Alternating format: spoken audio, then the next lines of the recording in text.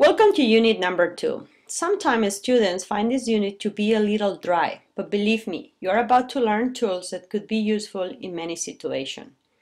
Business planning is an ongoing process of decision making that guides the organization both in the short and the long term. It also helps managers to take decisions and to develop goals before any action is taken.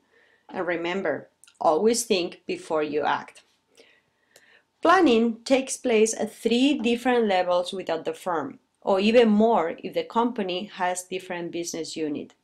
The first one that we will see in more detail takes place at corporate level. It is called strategic planning and is driven by the senior management within the firm. Then each individual function or department develops one, and this is obviously where the marketing plan fits in. The marketing plan is defined by the CMO, the Chief Marketing Officer. Finally, one plan needs to get developed at operational level. Think it this way. If I'm a brand manager from Procter & Gamble, the strategic and functional planning is not going to necessarily tell me what to do next Monday morning when I get to my office. I need a more detailed plan done at my brand level. This is the operation planning. In any case, the most important thing is that all these planning efforts need to be done within the firm are consistent and are aligned with the mission of the company.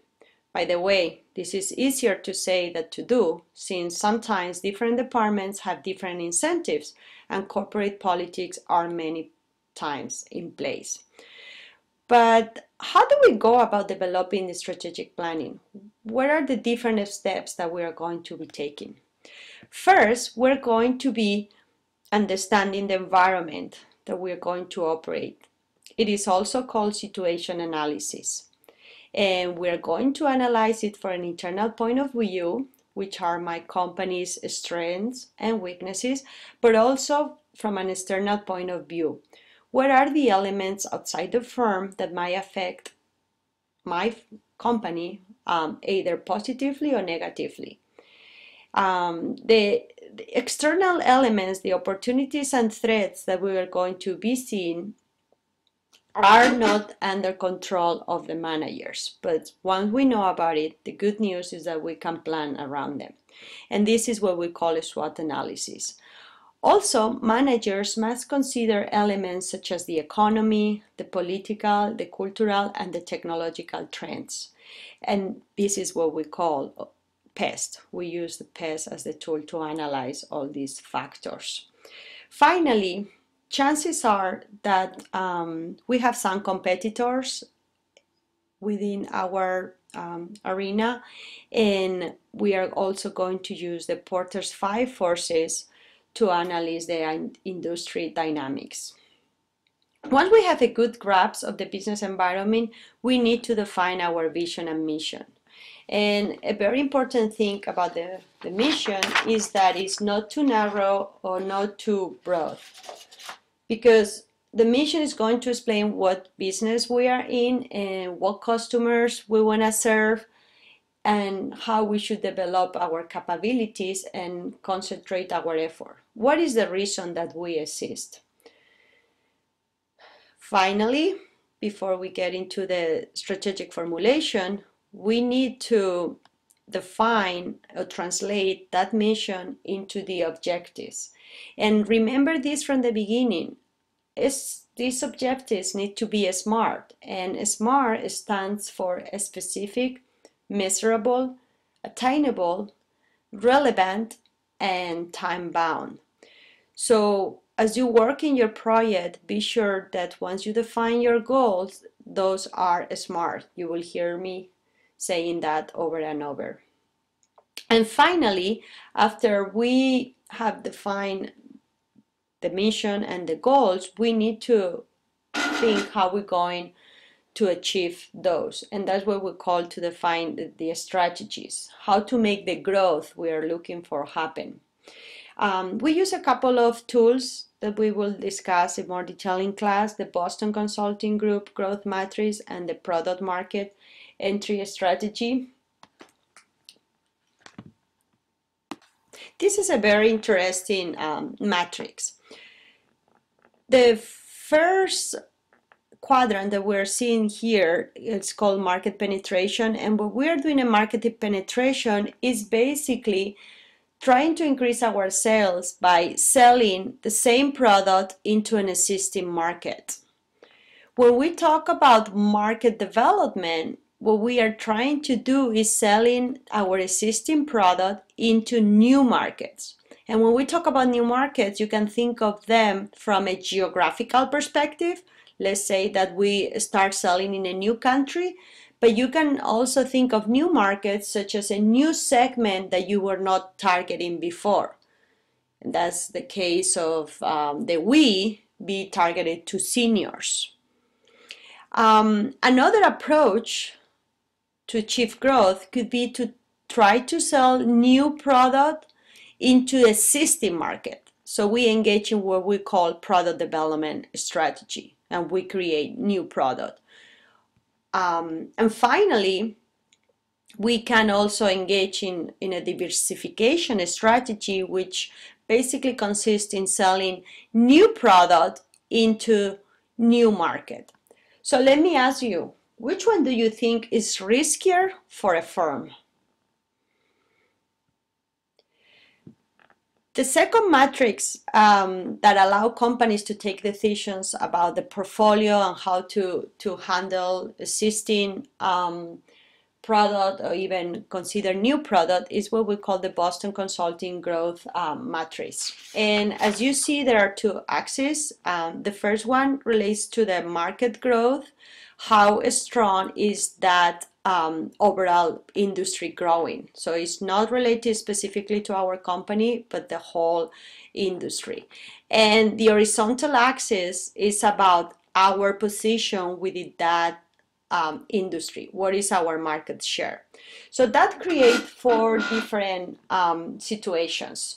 So we talk about starts when we have products that have a dominant market share in a high growth market. And because we have that dominant share of the market, stars um, generate large revenues, but also they require large amount of funding to keep up with production and promotion demands. If we go to um, the lower end, the cash cows, cash cows, we have a dominant market share in a low growth potential market because there is not much opportunity for new companies, competitors usually don't enter this market.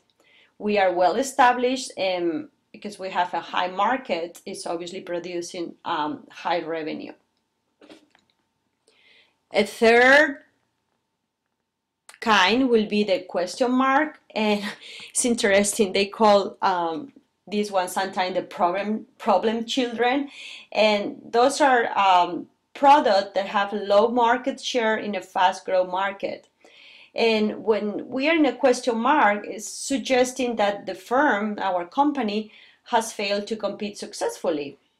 Uh, maybe because that product is offering fewer benefit that competing product, or maybe our prices are too high, or our distributor are not um, affected, or even our advertising is not working.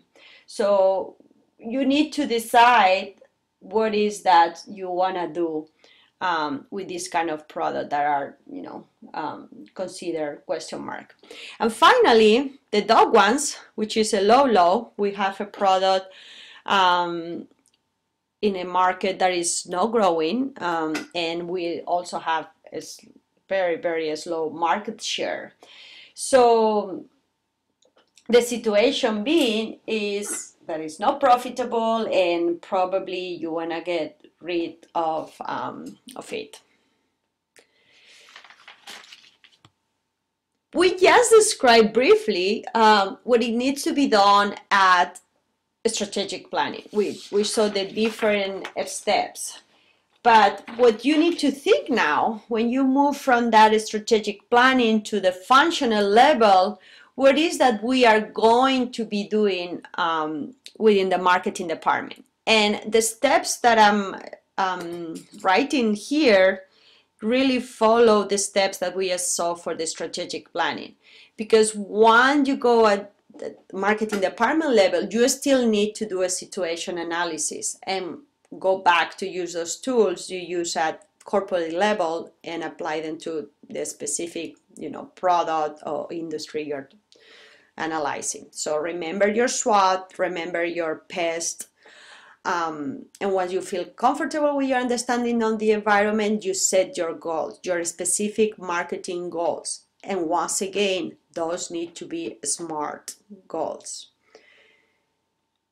in our step number three, we will develop the marketing strategies. We will be clear in who is the target audience for our product and we will go in detail in each of the four P's that you are familiar um, with product place promotion and price finally you always want to establish in in your plan um, some measures to control and define your ROMI. You will hear me repeating this a lot, your return on your marketing investment.